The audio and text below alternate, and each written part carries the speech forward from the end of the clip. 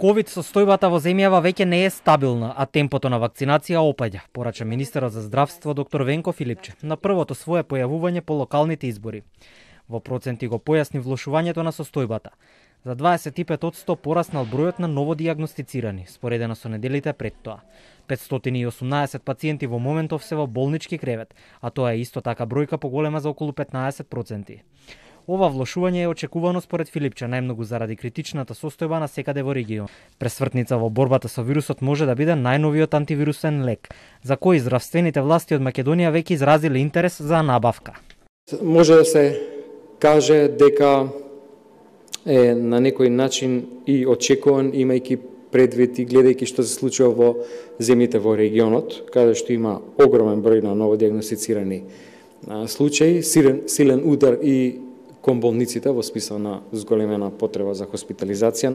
Лекот на Мерк е лек за кој што се завршени клиничките студии и на 30 ноември треба да има состанок Американската агенција за лекови FDA, кој што ќе го каже ставот во однос на дозволата за употреба. Ние а, на некој начин изразивме интерес за да има некаква форма на пререзервација на одредена количина за нашите пациенти во најкраток можен период од ќе се завршат сите административни процедури. Бројот на вакцинирани граѓани со трета доза е 46.000 до денес. Без малку 100, поточно 99, иако примиле три вакцини, сепак завршиле на списокот позитивни на корона. Најголем дел од нив пројавиле симптоми 3 до 4 дена по примањето на вакцината и нема хоспитализирани. Еден дури завршил и со смртен исход, но веќе се борел со друга многу тешка болест. Во однос на вкупниот број на вакцинирани, тој се движи околу 40%, а тоа е малку според сите епидемиолошки проценки. И затоа Македонија ја очекува долга зима. Опфатот треба да се зголеми.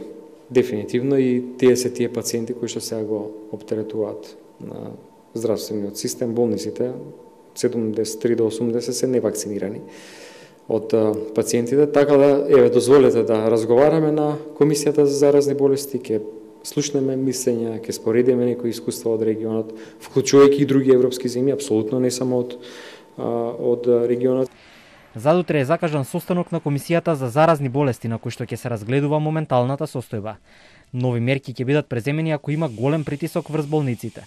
Опциите се отворени, вели министерот, но секое решение мора да биде издржано.